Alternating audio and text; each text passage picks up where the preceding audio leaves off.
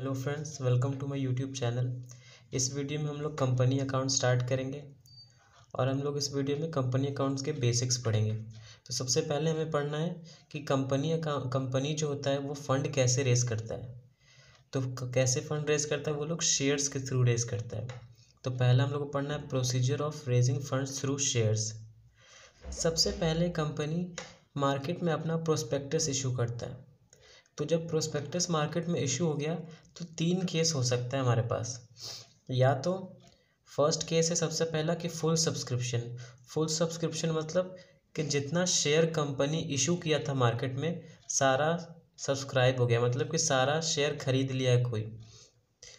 Application received for full issued share ठीक है? Full issued share मतलब कि अगर कंपनी एक लाख शेयर इशू कर रहा है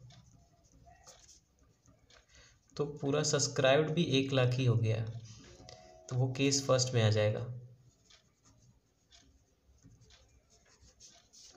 ठीक है, एक लाख शेयर इशू किया था और एक लाख सब शेयर सब्सक्राइब भी हो गया। तो इसको हम लोग बोलेंगे फुली सब्सक्राइब्ड तो फ़र्स्ट केस हो गया फुली सब्सक्राइब्ड सेकेंड केस आगे हमारे पास आ जाता है अंडर सब्सक्रिप्शन अंडर सब्सक्रिप्शन मतलब होता है कि जितना सब्सक्राइब जितना इशू किया था कंपनी शेयर उससे कम सब्सक्राइब हुआ है। मीन्स एग्ज़ाम्पल देखते हैं इसका। इस एग्ज़ाम्पल को लेते हैं हम लोग। अगर कंपनी एक लाख इशू कर रहा है शेयर तो उसमें सब्सक्राइब कम हुआ है मतलब एक लाख से कम हुआ है, अस्सी हज़ार सब्सक्राइब हो गया। ठीक है? तो ये हम लोग को दिख रहा है कि ये अंडर सब्सक्रिप्शन है तो ये सेकंड केस में आ जाएगा। और थर्ड केस है हमारे पास ओवर सब्सक्रिप्शन ओवर सब्सक्रिप्शन मतलब होता है कि जितना इशू किया था, उससे ज़्यादा सब्सक्राइब हो गया। मतलब कि अगर एक लाख इशू किया था तो एक लाख से ज़्यादा सब्सक्राइब हो गया। अगर एक लाख इशू किया था कंपनी तो पब्लिक ने सब्सक्राइब एक लाख बीस हज़ार कर लिया। तो इसको हम लोग बोलते हैं अंडर सब्सक्रिप्शन। अगर फुल सब्सक्राइब हो गया, उसको बोलेंगे फुली सब्सक्रिप्शन। अगर कम हुआ है, उसको बोलेंगे अंडर सब्सक्रिप्शन। और अगर ज़्यादा सब्सक्राइब कर लिया इशूड से तो उसको बोलेंगे हम लोग ओवर सब्सक्रिप्शन तो हम लोग को अलग अलग पढ़ना है कि तीनों केस में अलग अलग हम लोग कैसे एंट्री पास करते हैं। ठीक है? तो हम लोग इसका आगे देखते हैं। सबसे पहला देखते हैं कि फुली सब्सक्रिप्शन में केस फ़र्स्ट है फुली सब्सक्रिप्शन तो हम लोग देखेंगे कि फुल सब्सक्रिप्शन के केस में अकाउंट्स कैसे बनाया जाता है। फिर सेकंड हम लोग देखेंगे अंडर सब्सक्रिप्शन में और थर्ड देखेंगे ओवर सब्सक्रिप्शन में। तो अगर फुल सब्सक्रिप्शन हो गया है तो उसमें हम लोग को कुछ भी करना नहीं होता है डायरेक्ट अलॉटमेंट मनी मांगा जाता है। एक शेयर जो होता है, वो कई पार्ट्स में डिवाइड होता है। जैसे कि अगर एक शेयर है और एक शेयर का दाम है, एक शेयर है और एक शेयर का दाम है दस रुपया।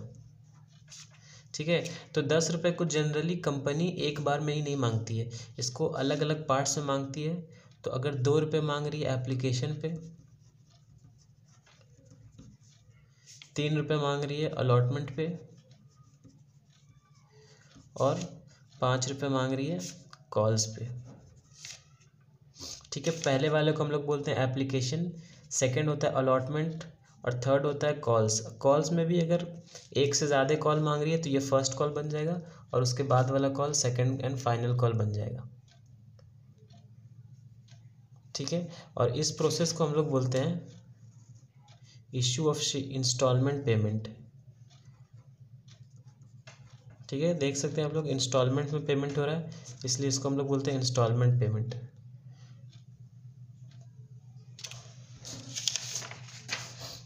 तो अगर फुली सब्सक्रिप्शन रहेगा तो अगर फुली सब्सक्रिप्शन रहेगा तो उस केस में कंपनी डायरेक्ट क्या करेगा? अलॉटमेंट मनी मांगेगा। ठीक है? और अलॉटमेंट मनी मांगने के बाद कंपनी अलॉटमेंट मनी रिसीव करेगा और उसके बाद कंपनी कॉल मनी मांगेगा और कॉल मनी रिसीव करेगा। ठीक है? एक बार फिर से देखते हैं हम लोग फुली सब्सक्रिप्शन का। तो फुली सब्सक्रिप्शन में सबसे पहले क्या कर रहा था? जितना इशू किया था, उतना शेयर सब्सक्राइब हुआ था, उसको हम लोग फुली सब्सक्रिप्शन बोलेंगे। उसके बाद कंपनी अलॉटमेंट मनी मांगेगा अलॉटमेंट मनी रिसीव करेगा और फाइनल मनी मांगेगा और उसको रिसीव करेगा। अब हम लोग देखते हैं केस सेकेंड केस सेकंड है हमारा अंडर सब्सक्रिप्शन तो अंडर सब्सक्रिप्शन में हमारे पास दो केस है। एक है मिनिमम सब्सक्रिप्शन रिसीव्ड और एक है minimum subscription not received minimum subscription received मतलब होता है कि कंपनी जैसे एक लाख शेयर इशू किया है।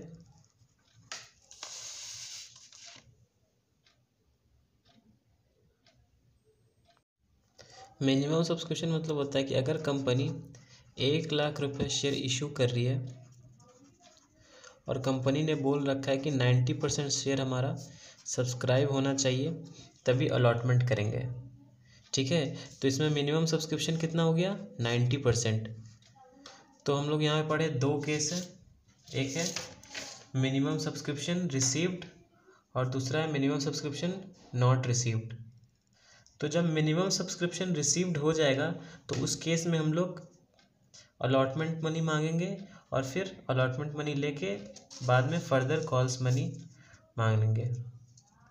ठीक है, ये केस तो हमारा इजी था, लेकिन अगर मिनिमम सब्सक्रिप्शन रिसीव्ड नहीं होगा मतलब कि नाइन्टी परसेंट से कम अगर शेयर सब्सक्राइब हो रहा है तो उस केस में जितना भी एप्लीकेशन मनी मिला है, वो सारा रिटर्न कर देंगे जिससे लिए थे।